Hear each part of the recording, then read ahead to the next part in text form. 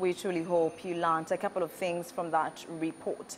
Now let's head to Arua City where the authorities have impounded 47 animals found roaming on the streets. The city mayor Sam Nyakua is threatening to have the owners of these animals arrested for negligence.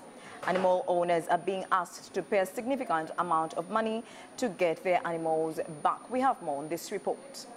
Last Monday, Arua City impounded at least 47 animals and each cow is charged at 100,000 while a goat is at 50,000. I have seen there are people who leave their animals, cows and goats alike, to roam uh, in the town. Each, each, each animal, each cow is, is fined 100,000 shillings. And each goat is fined 50,000 shillings. Meanwhile, according to Cornelius Jabil, the deputy town clerk of Arua City, say that the flowers that are meant to beautify the roads are eaten by the animals. He said that time and time again, the owners fail to abide by the rules, so they shall be persecuted, and he advised them to keep the animals on zero grazing.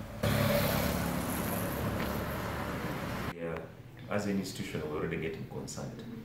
Um, even the flowers and the grass we're trying to plant to beautify our roads are getting destroyed by roaming animals. Ideally, people are not supposed to keep animals in the city unless it is under zero grazing. Time and again, we have tried to inform the owners of these animals to abide by the rules and regulations of keeping animals in urban. Unfortunately, men are not listening. Last week we started an operation of impounding animals that are moving on our roads, that are roaming around, and they, we are not going to now stop at uh, instituting fines on uh, the defaulters, but this time around we are going to prosecute the owners of these animals. But according to Mzaid Kemis, the mayor Arua Central Division Authority wants to make Arua City one of the cleanest cities in Africa.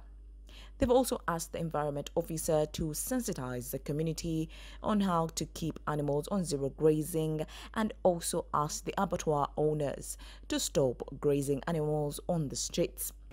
The way people say Rome was not built in one day. We have these cities, we expect a lot to come out of these cities.